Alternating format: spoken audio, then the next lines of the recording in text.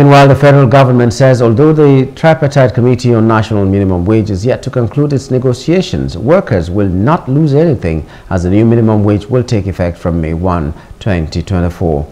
The Minister of State Labor, Nkiruka Onyejeocha, stated this on Wednesday while addressing Nigerian workers at the May Day celebration in Abuja.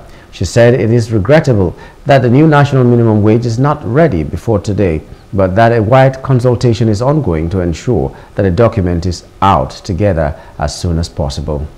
The Nigerian workers should be rest assured that despite the short delay, the minimum wage will take effect on first, from 1st May 2024. We are not going to lose any time.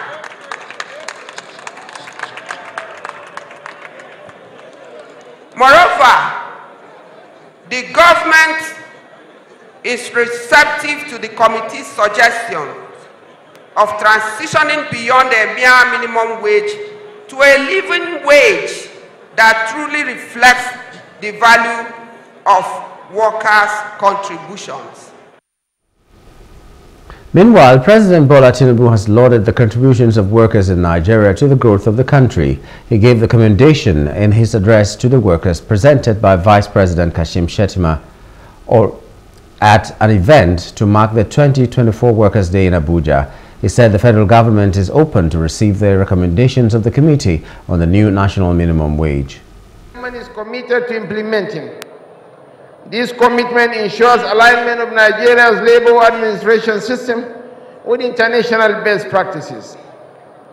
While the three pillars of the agenda seek to drive growth, equity, and sustainability for present and future generations, they require us to prioritize investment in people's capabilities, enhance investment in work institutions, and promote decent and sustainable work. We took office at the time many nations, including ours, were experiencing daunting socio-political and developmental challenges. Yet we are resolute in confronting these obstacles head-on. You recall that on January 30, 2024, the federal government convened a 37-member tripartite committee on minimum wage. The committee's mandate was to provide counsel, and suggest a national minimum wage that aligns with our current economic conditions. Since then, the committee, in collaboration with labor leaders, has been diligently working towards proposing a new national minimum wage. Unfortunately, despite concerted efforts, the committee was unable to reach a consensus at its last meeting. These shall be resolved soon, and I assure you that your days of worrying are over.